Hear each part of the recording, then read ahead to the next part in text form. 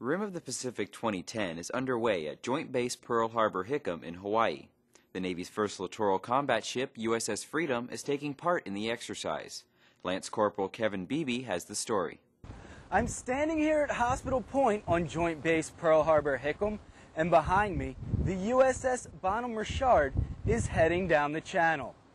She's one of 14 nations, 32 ships, 5 subs, and more than 170 aircraft arriving in Hawaii for RIMPAC 2010, the largest maritime exercise in the world. RIMPAC is one of the first big tests for the USS Freedom, the Navy's first littoral combat ship. This is our first opportunity to really develop what Freedom can do and an LCS can do within a strike group.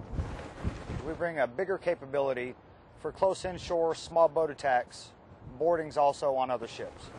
We'll get to do some uh, some tactical maneuvering with other countries. Uh, it's pretty exciting because a lot of that stuff we haven't had the opportunity to do, and so we're kind of making history with freedom and uh, and setting the bar. RIMPAC has three phases.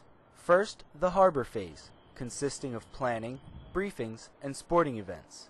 Second, the operational phase, which includes live fire exercise and wartime maneuvers. The final phase is scenario driven, where coalition partner nations work on strengthening maritime skills in simulated hostile situations.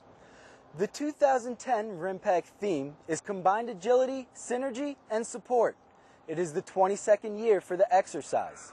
Lance Corporal Kevin Beebe, Joint Base Pearl Harbor Hickam, Hawaii.